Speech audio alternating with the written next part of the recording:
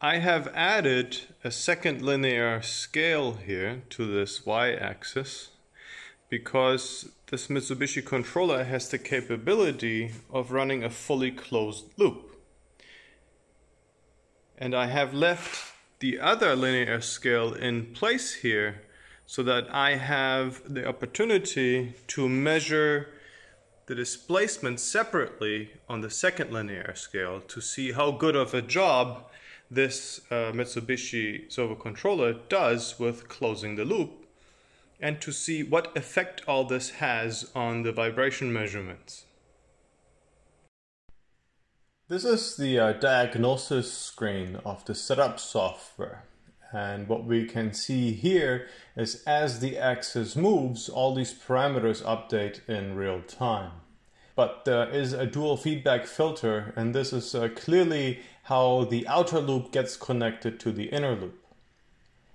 Uh, the droop pulses here are how far we are away on the outer loop from the desired setting.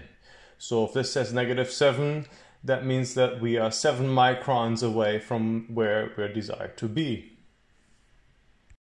It's pretty difficult for this system to reach the actual micron position that we desire, and I think that is because of stiction in the mechanical elements and belt stretch and things of that sort. If you wait long enough, uh, due to the fact that it hunts forward and hunts backwards a little bit by a few microns, eventually the hunt will accidentally hit exactly the position that you want, and then it'll be uh, it'll have a droop of zero, meaning it's going to be exactly at the position you want to be.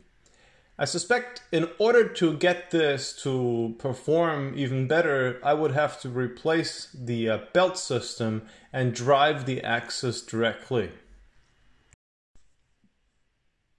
The dual feedback filter has a parameter that connects the outer loop to the inner loop.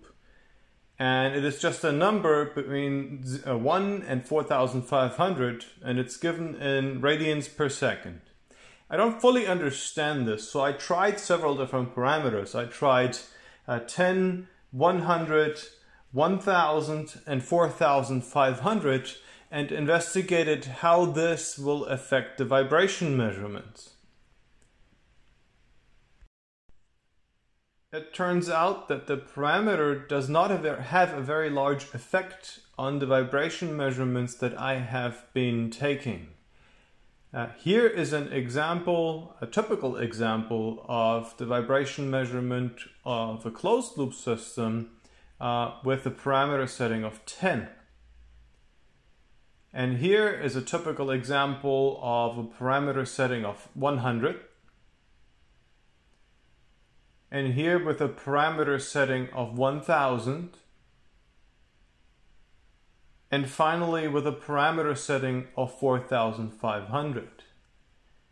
Now these are just randomly chosen um, sections of the measurement and they truly are equivalent. If I took some random uh, sections of the measurements with these different parameters, I would not be able to tell which one had a parameter setting of say 10 and which one would have a parameter setting of 4500. That truly doesn't seem to have any effect on these measurements.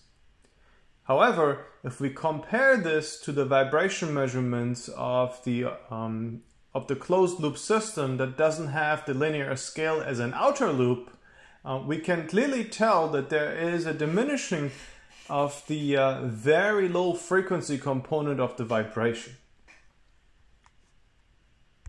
As before, this represents roughly one second of data. So while technically this is a vibration measurement, most of the time one would really think of this more of bending back and forth, uh, perhaps to some binding or a bent ball screw or non-perfect alignment of the uh, two linear rails that comprise this axis or some other things. So the outer loop certainly does uh, improve the results uh, significantly.